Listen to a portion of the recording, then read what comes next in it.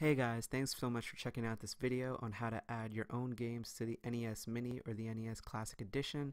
If you enjoyed this video, leave a like and subscribe to my channel for more content. And yeah, we'll be using the Hakchi 2 tool, so there will be links in the description for downloads and everything. So let's just jump right into it.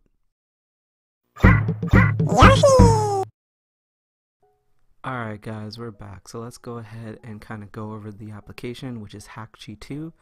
Um, so yeah, I already went ahead and added one new game that's not currently on the NES Mini, but um, we have here the original 30 games, so you don't really want to mess around with that, at least I wouldn't.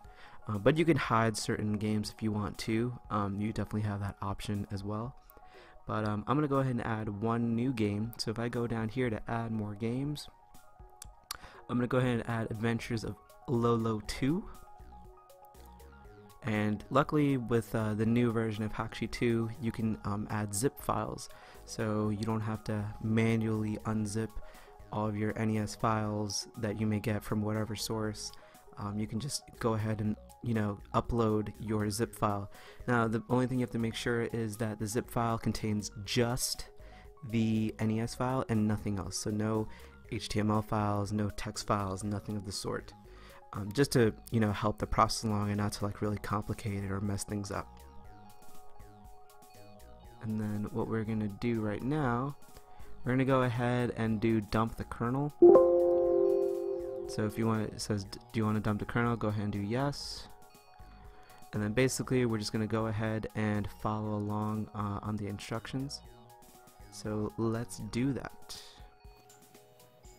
Alright guys, so after you go ahead and connect the NES Mini to the PC using the USB cable, we're going to go ahead and hold the reset button and we're going to turn on the power switch and then after holding onto it for a few seconds, go ahead and let go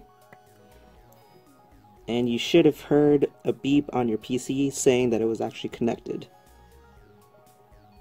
And then if you want to go ahead and install the driver, go ahead. Alright guys, so once everything is set up and connected, it should automatically go ahead and dump the kernel from the NES Mini or the NES Classic. So while it does that, you can get your stuff organized, like your games and everything. But it's a very quick process, as you can kind of see. Um, it's pretty much done, and the kernel will be dumped in this dump folder which is wherever your Hakchi 2 application is and the folder structure and everything. So make sure not to lose it, it's very important in case you need a flashback to it and stuff. But uh, yeah, now we'll continue on in adding the games to the NES Mini.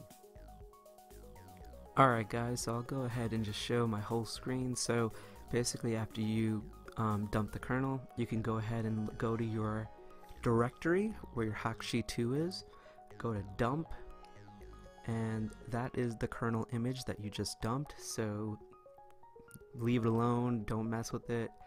Uh, hold on to it for sure. And uh, yeah. So now that we did that we're going to go to kernel and flash custom kernel. And it's going to ask you if you want to flash the custom kernel. Go ahead and click yes. It'll build the custom kernel image It'll do everything on its own. You don't have to touch anything.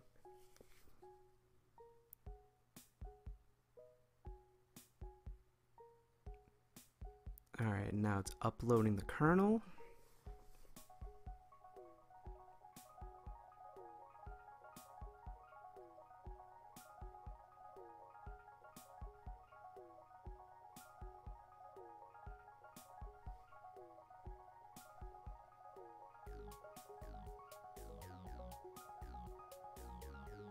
Going to execute all of its commands to pretty much do everything uh, without you even really knowing.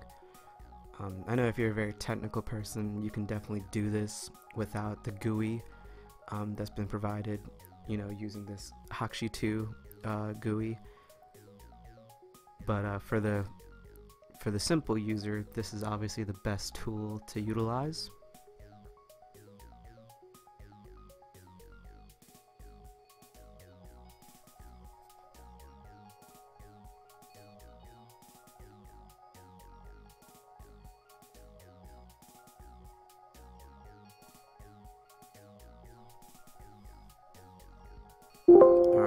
It is done. So you can now upload your games to the NES Mini.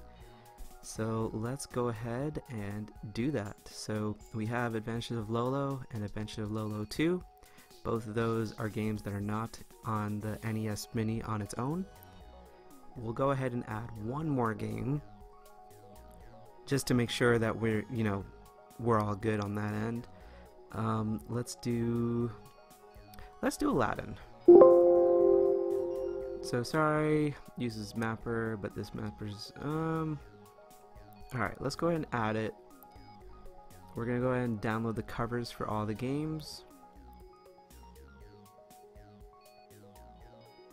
Alright, so we have all of the covers that we need, which is great. And then yeah, let's go ahead. We're gonna synchronize this, all the games to the NES Mini.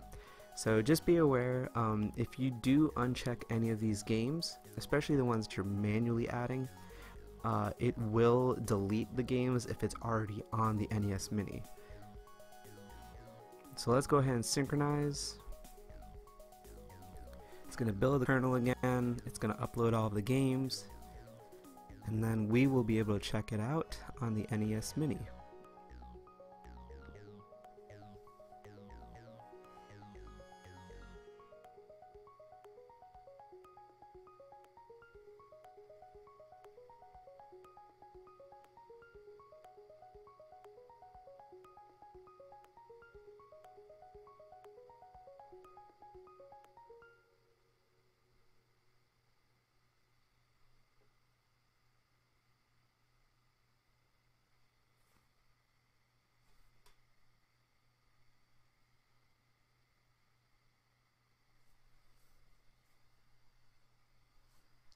Alright, looks like it's almost done.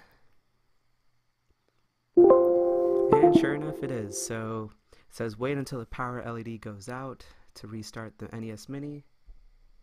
So just make sure that you don't do anything until that LED is actually out.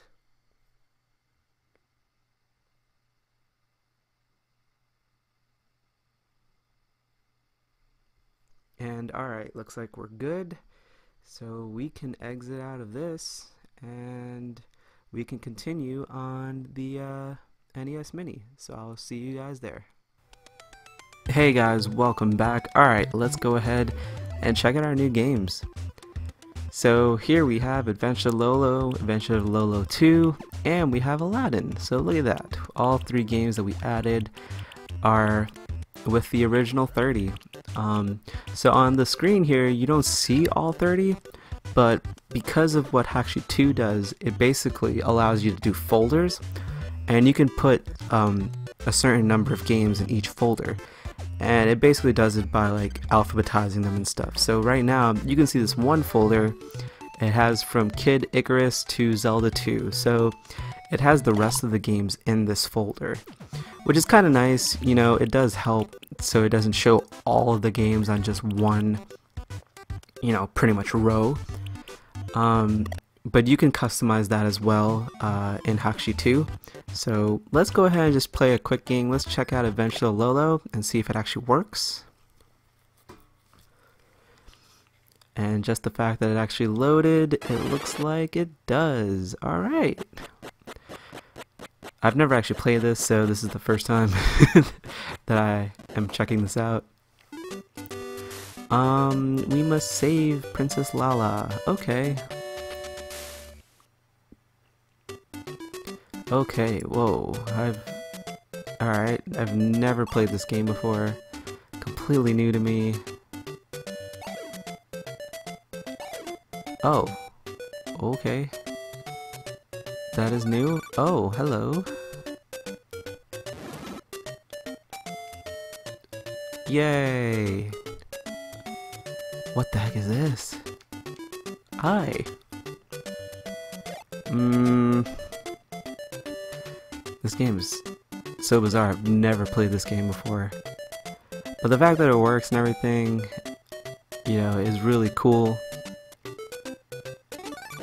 Oh, geez. Um, I don't know what happened, but after I collected all those, it, okay, well, no big deal. Let's go ahead and reset.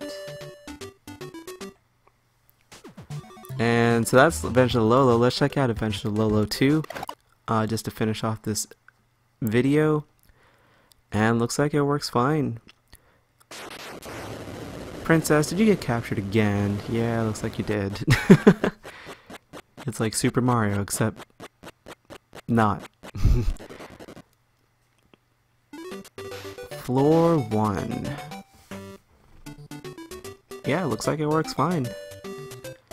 That's awesome. Alright, so there are certain games um, that don't load, and that's because of the, the mapper and everything.